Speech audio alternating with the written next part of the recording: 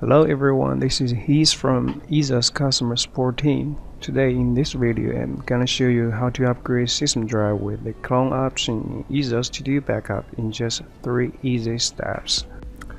Okay, the first step is to connect the new hard drive to the machine. In order to do that, we need a new hard drive, a SATA connection cable. Usually we got one from the vendor where you buy the drive. Just disconnected all the connection cables and wires from the case, then lay down and open the side cover.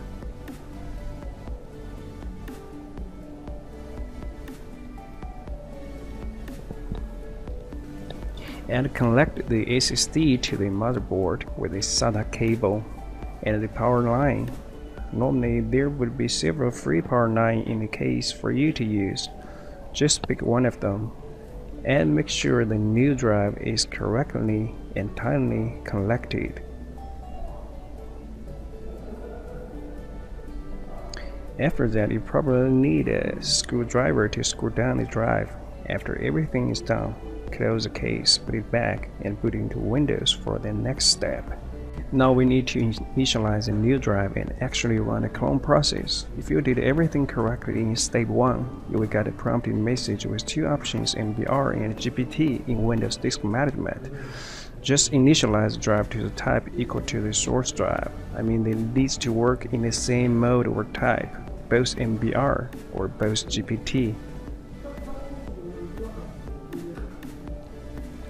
And now it's time for do backup to show you the magic. Just launch it. You may install it on a source drive and click System Clone to start the process.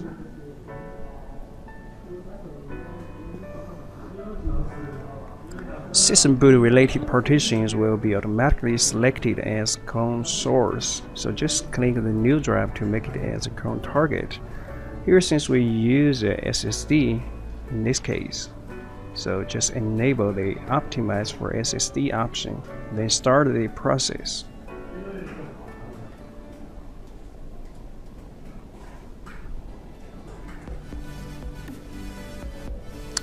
I know the backup speed really concerns most users, but since the backup speed varies in different cases, different hardware and different system performance, so there is actually no way to give a certain answer or I can give is that on average it takes one hour to transfer 100 gigabytes data.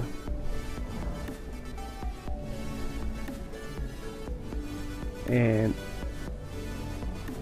and here is an option which can help you shut down the PC after the clone finishes.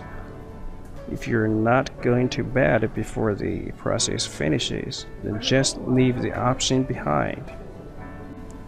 Here is a screenshot for enterprise users where to find the system clone option. The last step is easy to accomplish. The disconnected the source drive, then boot from the new drive to finish the job. Or if you want to keep the old drive, just make some changes in BIOS to make sure new drive is in the first place of the boot order if you still have questions about the process or need assistance during the operation, then just feel free to contact our support team by sending an email to support@easeus.com or come to our live chat service.